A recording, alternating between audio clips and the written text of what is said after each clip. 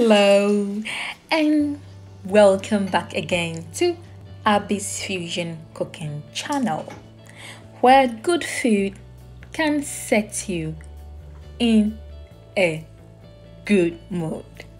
So today I'll be cooking with just three main ingredients. Yes, and I'm not even lying. I tried this recipe out by using the simple ingredients and it turned out so good that everyone in my home was asking for more. And I'm not even exaggerating about that. So I thought I would share this with you all. Right? So if you are ready to get to know about this, let's start with the ingredients. So I've got the main three main ingredients. One of them is the sausages. So I used a mixture of the spiced pork sausages and the normal um, pork sausages. So the one without any spices in it. The second main ingredient is 600 grams of pasta.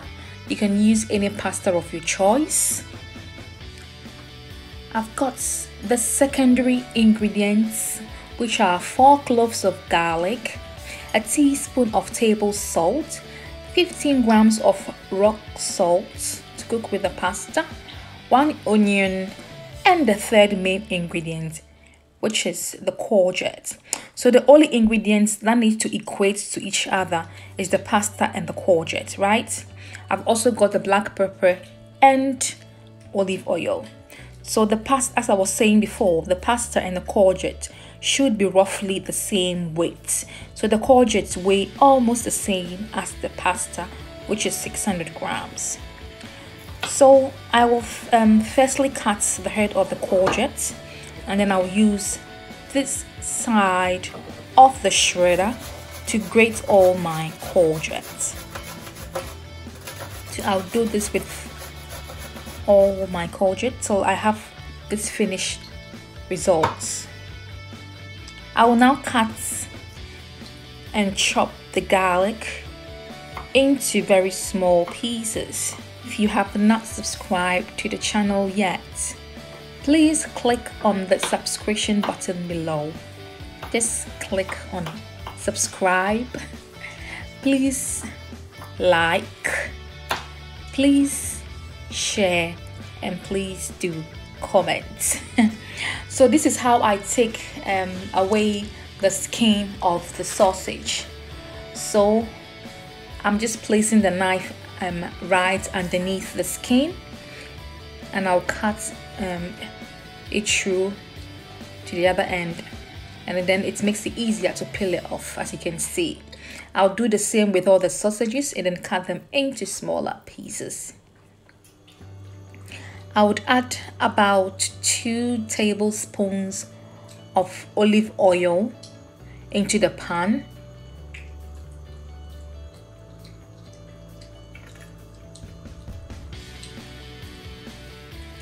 and then add my chopped onions and garlic to the oil.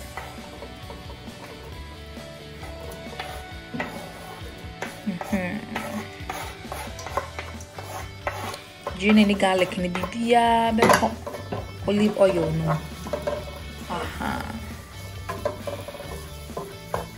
Stir it and just let it saute for just a minute.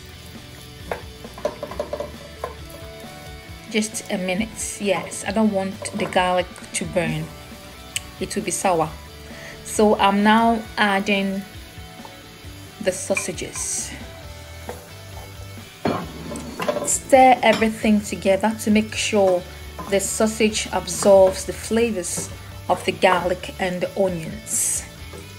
Mm-hmm. Biribiara fora ne garlic no ɛho hwa no bɛkɔ sausage no ho mm-hmm.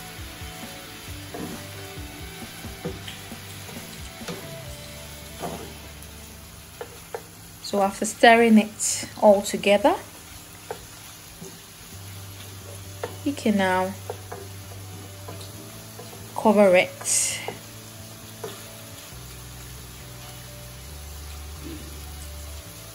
and leave it to cook for four minutes.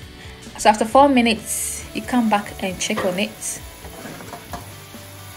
Stir it again.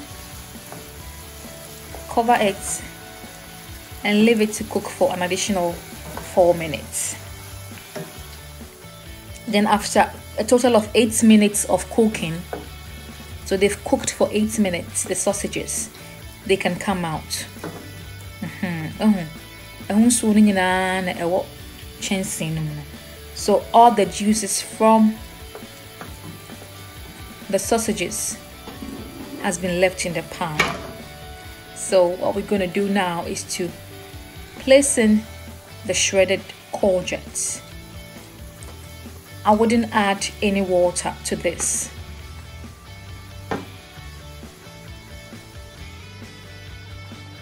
add everything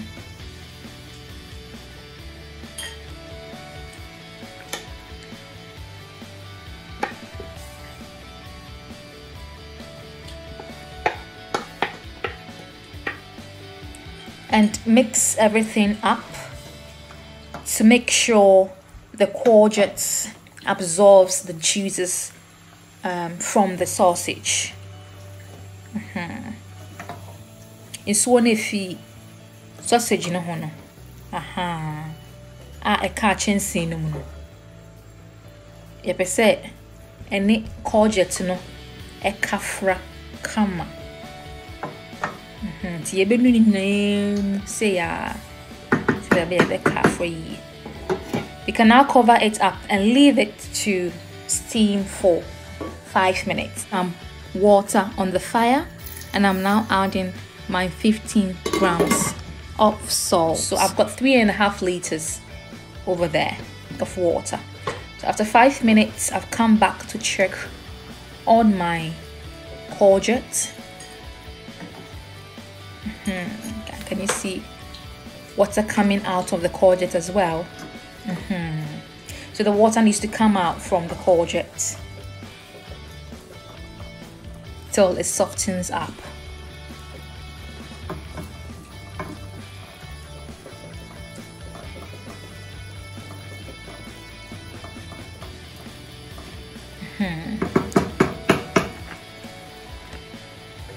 So I'm not going to cover it up again this time because um, I want to the water to come out of the courgette. So I'm not going to cover it with the lid anymore. What I'm going to do is to keep stirring it for 10 minutes on medium heat. Yes without any um, cover or lid.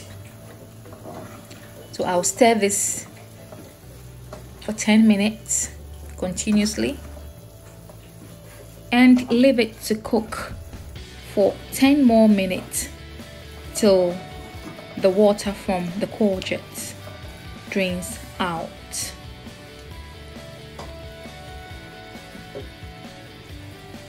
Hmm. I can now place my pasta in the salted boiling water, stir it, then cover it up to boil. So as you can see the courgette has cooked in a total uh, minute of uh, 25 and most of the water from the courgette has disappeared as you can see. That's why I could add my salt.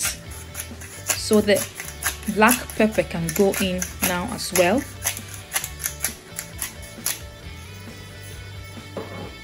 Just a little bit of black pepper not that much. Wɔn sɛ nsuo no nyinaa twe ɛwɔ ho so the pasta is also ready now. It has cooked for eight minutes and it's not too soft just how I want it to be. So the water will be drained out and the pasta will be set aside whilst I place the cooked sausages together with the courgettes in the pan. Stir everything together. As you can see, it's dry. So I'm going to add about one and a half um, ladle of pasta pasta water yes i'm using the big spoon the ladle to do that to the sauce because i don't want it to remain dry. I just need a bit of um, moisture in there. So don't throw your pasta water away. It's gold. Telling you.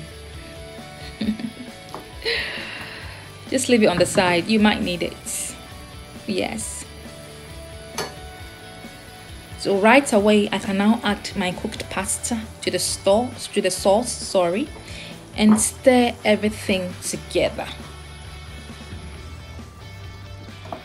see it doesn't even take long a very quick recipe one that children and adults would enjoy equally